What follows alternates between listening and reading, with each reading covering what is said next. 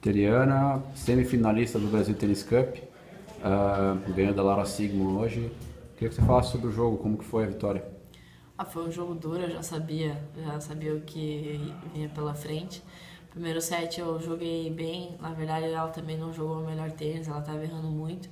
Segundo set eu já estava preparada, porque eu sabia que não ia ser igual o primeiro set, ela jogou muito melhor.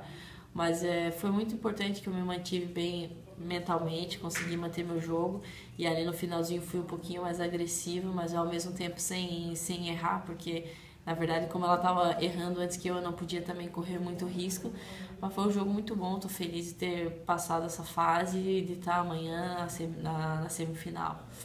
Bom, amanhã é contra a Anastasia Sevastova, uma menina que ficou um, um ano parada e voltou esse ano, já voltou jogando bem. É uma menina que joga muito bem, conheço ela já há muito tempo, mesmo ter ficando parada, quando a pessoa tem um nível, ela volta. Não sei, na verdade, muito bem como ela joga, mas vou dar uma olhada, depois meu irmão vai me passar, né, como que ela tá jogando, quais são os pontos fortes dela. Mas o principal acho que não é nem pensar no jogo dela, mas sim pensar no meu, em fazer o meu melhor tênis, em desfrutar bastante esse momento, essa oportunidade de estar jogando semifinal de um torneio grande e principalmente desenvolver o meu jogo. Bom, para finalizar, essa é a sua quarta semifinal de torneio WTA, né? Duas vezes em Bogotá, uma vez no Rio e agora aqui. Eu não, você não, tô contando a menos. É, bom, queria que você falasse sobre isso, sobre esse momento de você é, tá reforçando de novo, colocando seu nome de novo na semifinal ali, tá? É firme, né? Não, não é uma coisa que é uma vez a cada. Sim, isso que me deixa feliz, né? Porque não, é, não foi só uma vez, já foram várias vezes, conquistei meu primeiro título esse ano também.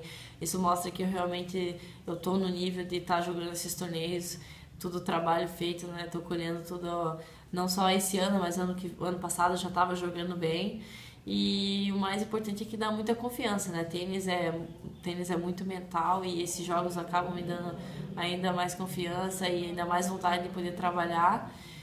E vamos ver, né? Vamos ver o que sai. Não, não quero criar expectativas nenhuma para amanhã. Acho que o mais importante mesmo é continuar o trabalho que eu venho fazendo já há muito tempo.